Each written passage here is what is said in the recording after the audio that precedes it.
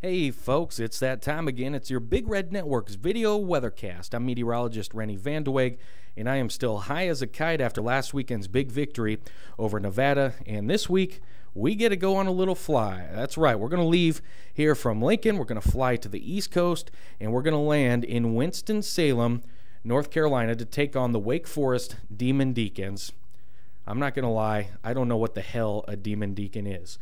But that's no big deal. That still won't stop us from tailgating tomorrow. So we'll get to a tailgating forecast. And our featured tailgating activity this week is none other than beer pong, one of my favorite uh, pre-game activities. If you see me out there, do not mistake me for Kobe Bryant. I could even make Shaquille O'Neal say, Kazam! All right, 8 a.m. tomorrow. We'll get out there early for beer pong.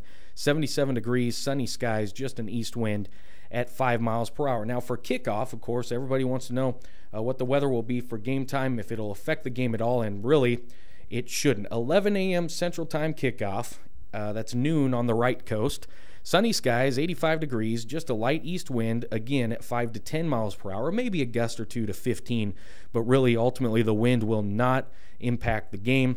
Uh, weather will not be a concern for kickoff against Wake Forest. So we bring back the all too popular Rennie's predictions. So we're going to bring in special guest Lou Holtz for today's prediction. Geez, guys, let me tell you, I just think the Nebraska Cornhuskers are so good, and they're probably going to win, uh, we'll say 42 to 10 over Wake Forest.